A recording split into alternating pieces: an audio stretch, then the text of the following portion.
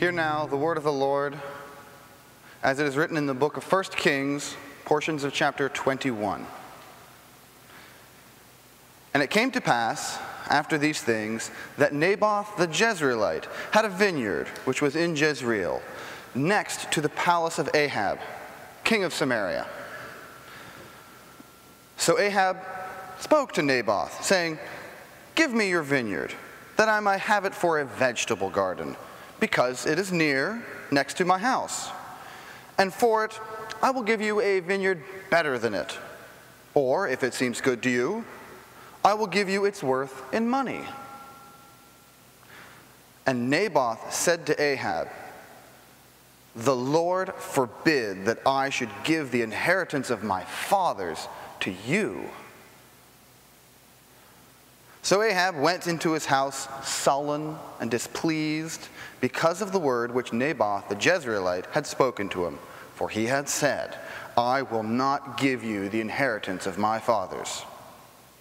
And Ahab lay down on his bed and turned away his face and would eat no food. But Jezebel, his wife, came to him and said to him, Why is your spirit so sullen that you eat no food? So he said to her, Because I spoke to Naboth the Jezreelite and said to him, Give me your vineyard for money, or else if it pleases you, I will give you another vineyard for it. And he answered, I will not give you my vineyard.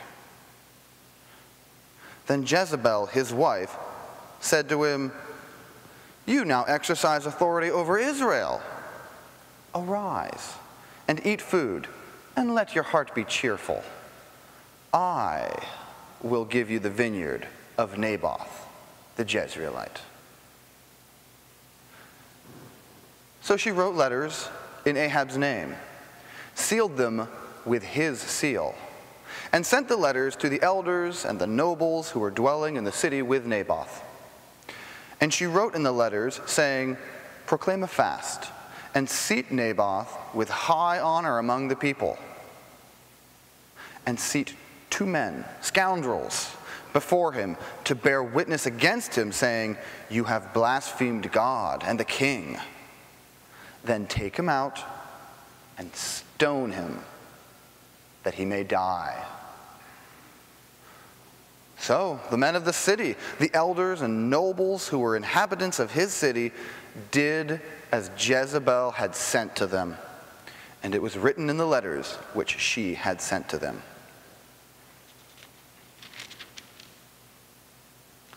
Then the word of the Lord came to Elijah the Tishbite, saying, Arise, go down to meet Ahab, king of Israel, who lives in Samaria.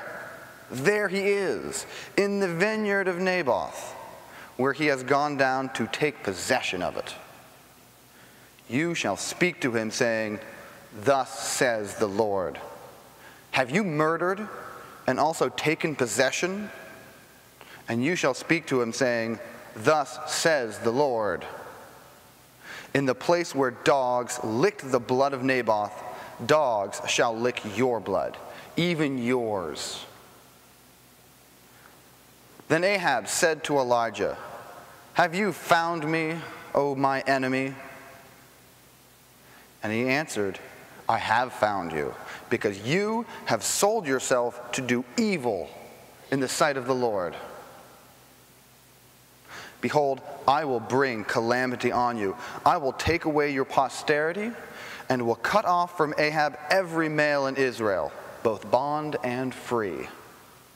I will make your house like the house of Jeroboam and like the house of Baasha, the son of Ahijah, because of the provocation with which you have provoked me to anger and made Israel sin. And concerning Jezebel, the Lord also spoke, saying, The dogs shall eat Jezebel by the wall of Jezreel. The dogs shall eat whoever belongs to Ahab and dies in the city, and the birds of the air shall eat whoever dies in the field. But there was no one like Ahab who sold himself to do wickedness in the sight of the Lord. because Jezebel, his wife, stirred him up. And he behaved very abominably in following idols, according to all that the Amorites had done, whom the Lord had cast out before the children of Israel. So it was, when Ahab heard those words, that he tore his clothes. He put sackcloth on his body. He fasted and lay in sackcloth and went about mourning. And the word of the Lord came to Elijah the Tishbite, saying, See how Ahab has humbled himself before me. Because he has humbled himself before me, I will not bring the calamity in his days, but in the days of his son, I will bring the calamity on his house.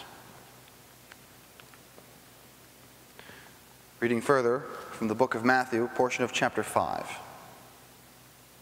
You have heard that it was said to those of old, You shall not commit adultery. But I say to you that whoever looks at a woman to lust for her has already committed adultery with her in his heart. And if your right eye causes you to sin, pluck it out and cast it from you. For it is more profitable for you that one of your members perish than for your whole body to be cast into hell. And if your right hand causes you to sin, cut it off and cast it away from you. For it is more profitable for you that one of your members perish than for your whole body to be cast into hell. And finally, from the Heavenly Doctrines, a portion of the Arcana Coelestia, number 4763. And he rent his garments. That this signifies mourning is evident from the signification of rending the garments as being mourning, namely on account of truth having been destroyed, or because there was no faith. We often read in the Word, especially the historic, of persons rending their garments. But the origin of this is not known at the present day, and it is also unknown that it was representative of grief on account of truth being lost. Here end the lessons. Blessed are they who hear the word of God and keep it. Amen.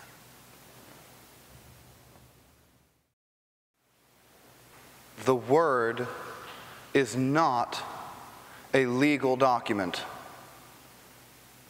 The Word is not a collection of truths acting as walls or barriers to what we want, even though it sometimes seems this way. Often the Word is described this way Thou shalt not steal, love thy neighbor, shun lusts as an offense to the nostrils. All of these things are true. But if we think of truths as obstacles to our life, even if we in theory acknowledge their authority, then we risk killing Naboth and stealing the vineyard of the Lord. Do not look for excuses to get around the truth. And when you ache to evade the truth you know, beware the honeyed words of Jezebel.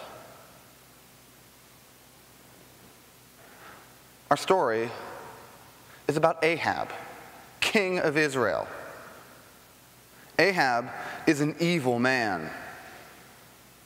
Ahab is described as the most evil king, the most vile, the worst. Of all the evil kings of Israel, Ahab was the worst. He instituted the worship of Baal. He presided over the death of the Lord's prophets and the corruption of the kingdom of Israel. Ahab was as bad as it got. In this particular story, however, Ahab is the central character, not the antagonist. For several weeks, we have been following Elijah as he struggles against Ahab. But now that Elijah has defeated the prophets of Baal, gone to Mount Horeb, and returned to Israel stronger than ever, we are given a story about Ahab. This story is a warning told in three parts through three scenes Ahab and Naboth, Ahab and Jezebel, and finally Ahab and Elijah himself. It is a story of desire, justification, and mourning. It begins with desire. Ahab sees a plot of land next to his palace owned by a man named Naboth. Ahab goes to Naboth and tries to convince Naboth to part with this land. On the face of it, this seems innocent enough. Ahab is merely offering to buy the vineyard or to swap land with Naboth so that Ahab, the king, can get what he wants. Our own lives are full of desires and wants, and this is fine. This is fine. The Lord is not asking us to banish desire or, or motivation from our lives. The problem here is that Ahab is asking for something he simply cannot have. Ahab can't have Naboth's vineyard. Naboth's reply is actually a reminder to the king of the ancient law established by the Lord regarding land in Israel. He says, Jehovah forbids that I give the inheritance of my fathers to you. Forbids.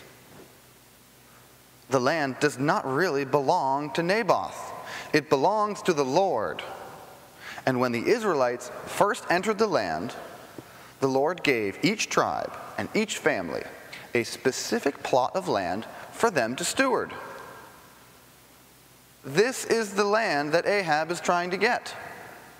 Ahab is trying to break Mosaic laws that have governed Israel since they first arrived. Naboth refuses to acquiesce. In our lives, this is no ordinary desire. Ahab's plan is to take the vineyard that Naboth cultivates and turn it into a vegetable garden for his own personal use. This isn't the simple want for security or entertainment or job satisfaction. This is the desire to own what properly belongs to the Lord and turn it to our own use. This is not, however, a desire to reject completely the word of the Lord. It's not. Let us ask Have you ever set out to steal from the Lord?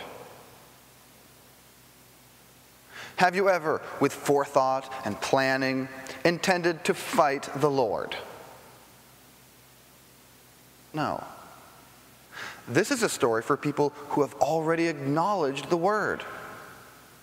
Ahab acknowledges, however grudgingly, Naboth's claim to the land. Now, we might not set out to fight the Lord, but have you ever felt that a particular truth, a particular doctrinal idea, has gotten in your way? Of course, we accept the Word. Of course, we think we should follow the Word. But what about those ideas that refuse to play along in our lives? We all have truths, either statements in the Old and New Testaments or in the heavenly doctrines, that seem to get in our way. On the one hand, we accept in theory that the Lord knows best how life and happiness and salvation work. But on the other, we desire to ignore or downplay or avoid certain ideas. We desire to plow under the Lord's vineyard. We desire to treat the word as a legal document in which there may be loopholes or exceptions. And Naboth is unequivocal. No. No, you can't have it. The Lord says no. Didn't make a counteroffer. He didn't suggest an alternative. He didn't pad his refusal or seem at all sympathetic.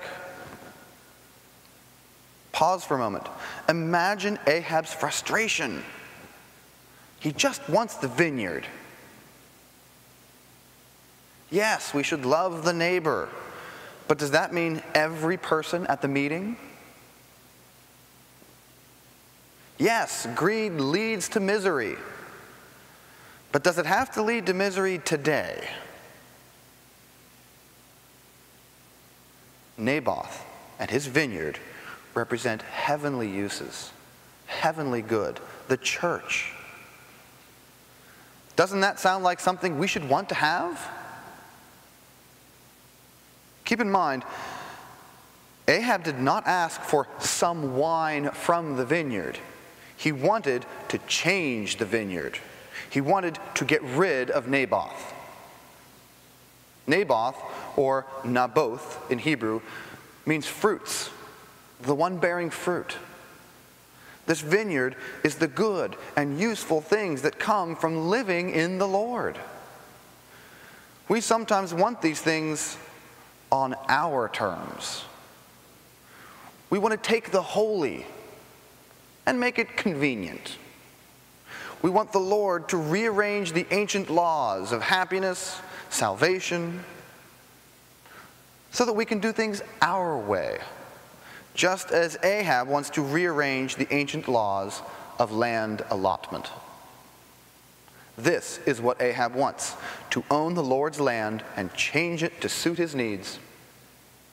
And then he finds out that there is no deal, no way this is going to happen.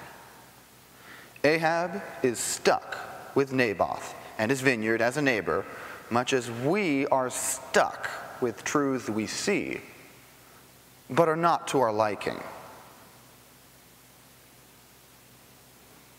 So he sulks. He refuses to eat. He refuses to talk to anyone, and in general behaves badly. Children often act this way when they're foiled, openly pouting, folding their arms in stubborn denial. Adults do this too, just not often in the open. Everyone sulks like Ahab sometimes. We never should, but we sometimes do. And this begin, brings us to our second scene. Jezebel shows up. Once she finds out why Ahab is upset, she promises to make it all better. Jezebel soothes Ahab. She assures him that he deserves what he wants. He is king, after all. She tells him not to worry. She will get the vineyard for him.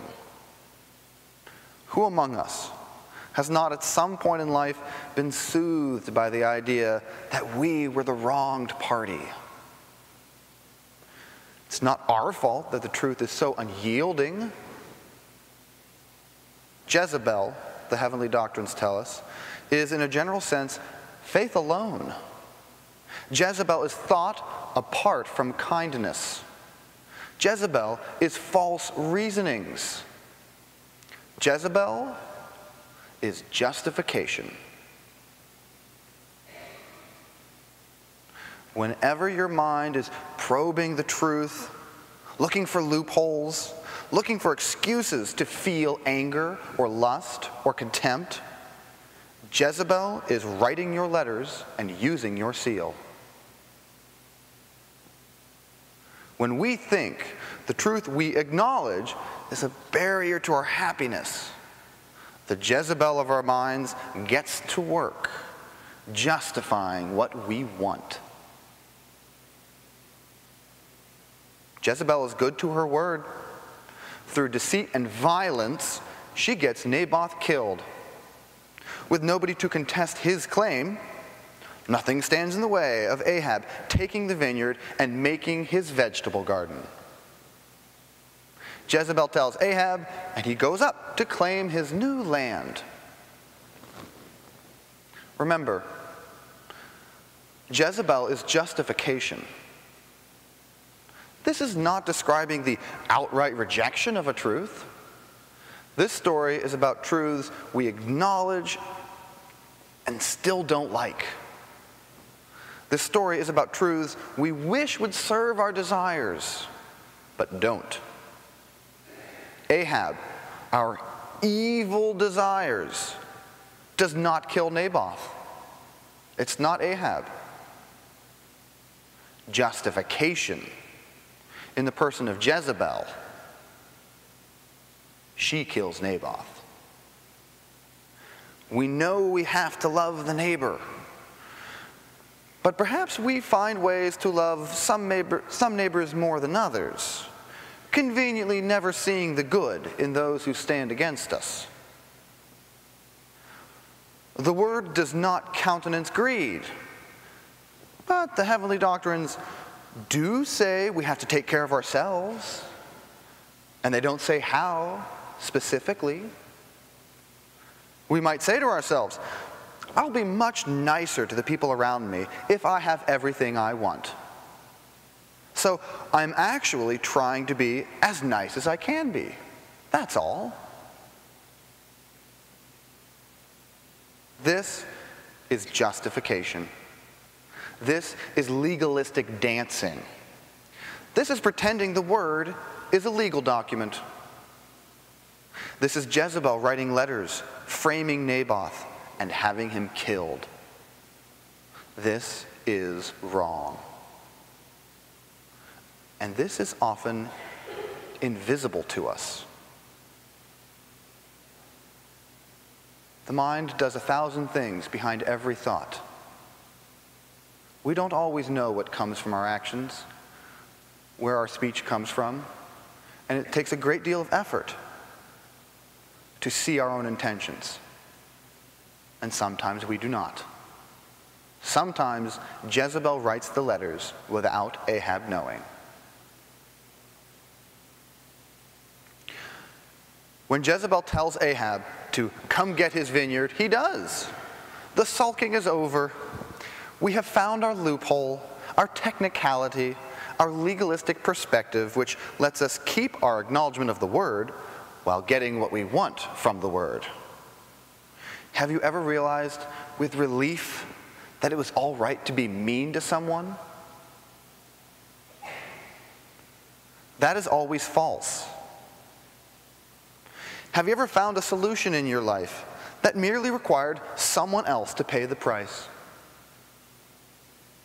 Have you ever convinced yourself that this time was an exception? This time was special. This time there were extenuating circumstances to letting evil have its way. Does examining it put it in a different light? This feeling of relief of triumph or smugness that comes with justification, this is what played across Ahab's face as he looked around his vineyard, planning its destruction. It was his, all his, and he hadn't done anything wrong. And then Elijah shows up.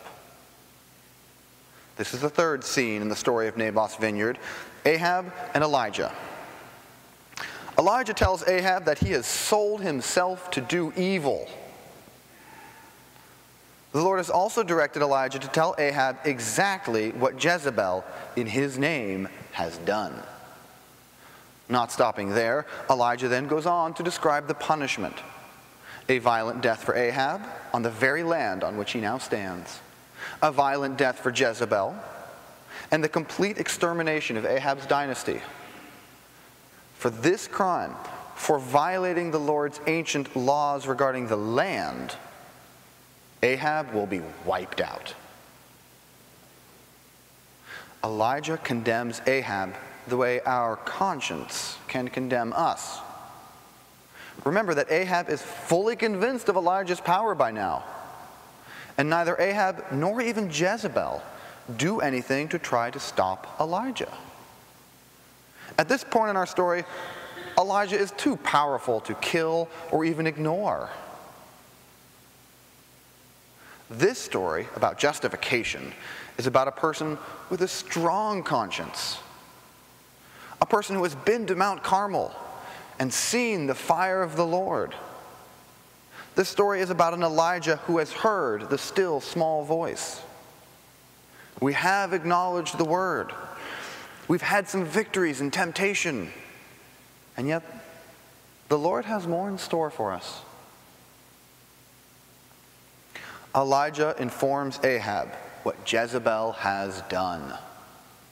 Our conscience, informed by the truth that we have already acknowledged and adopted, shows us the results of justification. Make no mistake, when we treat the truth as a legal document, when we try to get around the truth, when we think interpreting the truth is a game to be won, we have killed Naboth and claimed his vineyard. We have taken the heavenly uses and happiness that come from living the truth and have twisted them to suit our needs. This climactic meeting is the moment when we realize that we have abused the truth.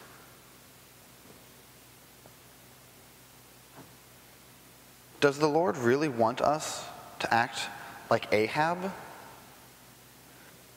The verse just before this, we read that nobody was as bad as Ahab. And yet we see Ahab acting contrite, mournful for what Jezebel has done. He didn't know, he didn't do it, it isn't his fault. These are the words of justification. He didn't do it. Reject them. Ahab did, and it saved him. The original doom that Elijah had placed on Ahab was the complete annihilation of Ahab's family. After Ahab showed remorse, he received a reprieve. It will still happen, but not while Ahab is king. Elijah promised Ahab that because he was contrite, because he was sorry, the horrors coming would wait until he was gone. Ahab is still evil, after all. Ahab still symbolizes evil desires that will eventually have to go. We in our lives are going to see a lot of Ahab. And yet, if we are sorry, if we reject our justification, we also get a reprieve. When we tear our clothes, when we are upset at how we have approached the truth, we mourn. Not merely from guilt, but in our resolved change. The Lord knows we can't change all at once. And even Ahab can serve a use. Ahab's family has to go. But we don't have to worry about that right now. It is enough that we reject false reasonings that justify evil. This will lead to the end of Ahab's dynasty. What does this rejection of justification look like?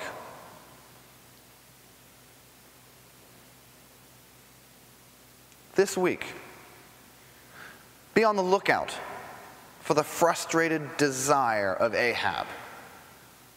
This week, beware the justification of Jezebel. This week, tear your clothes and ask for forgiveness. If you see yourself frustrated by the truth, take a moment is Jezebel promising to make it all better? Are you secretly looking for a way around the truth? you have already accepted? Instead, submit to the truth you see. Refuse to act on justification. Love the Lord, love the neighbor. The Word is not a legal document. The Word is our living, loving Lord. His laws are forever, and His love is infinite. If we say we are sorry, if we wish we had not justified our evil, if we resolve to do better and be better, that's all he asks. Do not despair that Ahab and Jezebel remain, for Elisha is coming. The sacrifices of God are a broken spirit, a broken and contrite heart, O God, you will not despise. Amen. Thank you for listening. To learn more, visit newchurch.org. And to connect with other people, visit us at groups.newchurch.org.